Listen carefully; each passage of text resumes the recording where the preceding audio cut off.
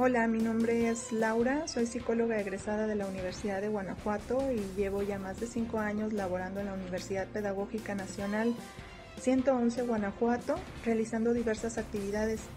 Me presento porque aunque este video está dirigido más hacia mis alumnos, eh, quienes ya me conocen, sé que pueden verlo otras personas que no y esperando sea de utilidad lo que les voy a compartir, me voy a pegar a dar lectura al discurso que tenía preparado para ellos. Hoy es uno de los días más importantes en mi paso por la UPN 111. Es mi último día de trabajo y a partir de mañana tendrá efecto el despido que esperaba que se diera para poder hablar abiertamente de lo que lo provocó. Este es el día que mi agresor seguramente también esperaba con nervios y miedo después de haber dado sus declaraciones en diciembre ante la televisora de su amigo que lo hace quedar como un pobre hombre desprotegido ante las demandas y manipulaciones de una docente que está enojada porque se le acaba su contrato de trabajo el día de hoy. Y es que lo comprendo.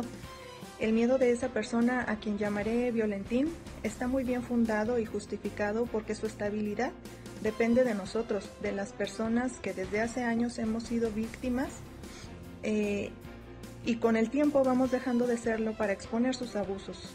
En mi caso, aunque no será este el momento de entrar en detalles, solo les comentaré que efectivamente me retiran de mis funciones como represalia por haber denunciado las situaciones de acoso laboral, hostigamiento sexual y corrupción en esta institución.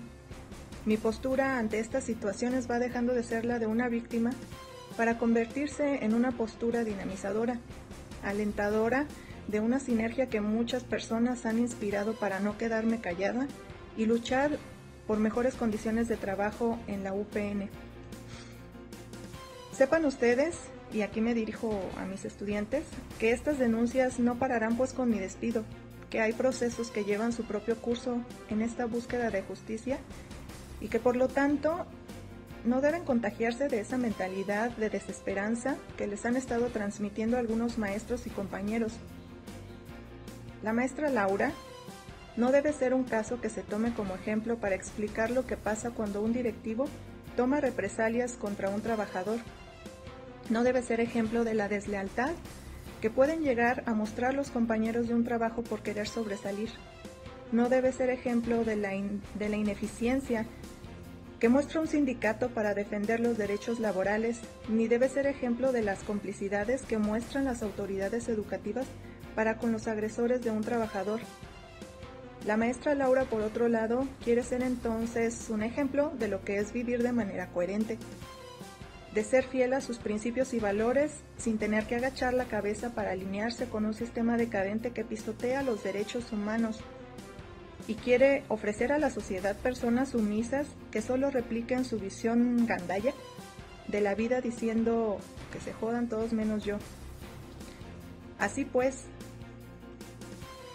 Quiero agradecer a las personas hipócritas que al final fueron mostrando sus verdaderos rostros, interesados en obtener mano de obra para sus clínicas, para que les patrocinen el uso de las instalaciones, para obtener un puesto para el cual no tienen el perfil o simplemente sentirse en una posición privilegiada para que no los toquen cuando saben que no dan el ancho en su trabajo, que son también corruptos, prepotentes, acosadores, violentos, incompetentes o simplemente huevones creídos que se esconden detrás de sus títulos nobiliarios.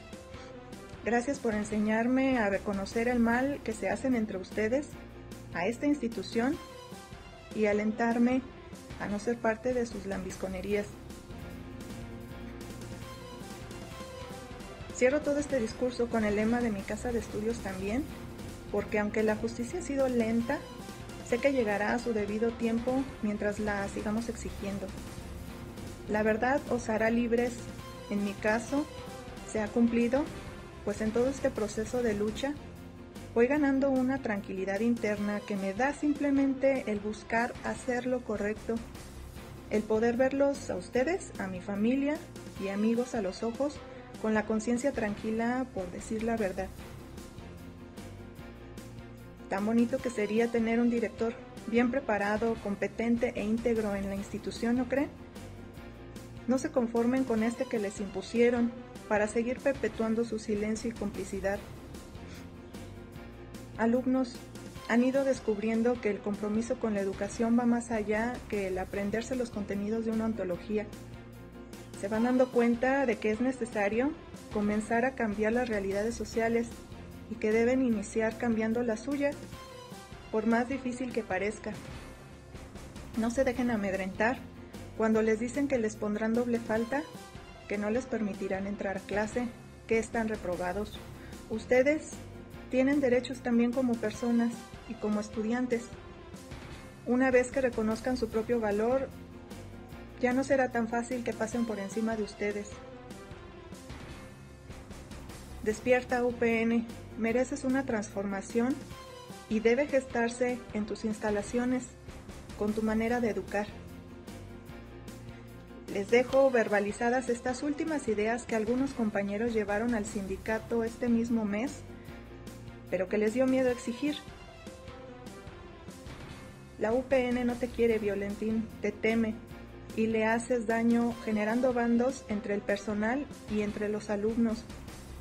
Las elecciones para que quedaras como director fueron amañadas por el Consejo de Unidad en el que estaban tus dos doctores corruptos que desempeñaron proyectos mejores que el tuyo, perdón, que desecharon proyectos mejores que el tuyo y a personas con mayor preparación para el puesto que tú.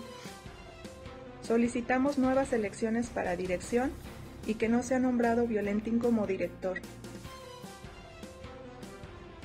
Estas palabras eran de otras personas, aunque era preferible que esto lo dijeran esas mismas personas que se van a ver afectadas de aquí en adelante por tibias, yo quiero decirlo para que puedan reconsiderarlo. Esta nunca fue mi batalla solamente, pero si así debe seguir siendo, entonces lo será.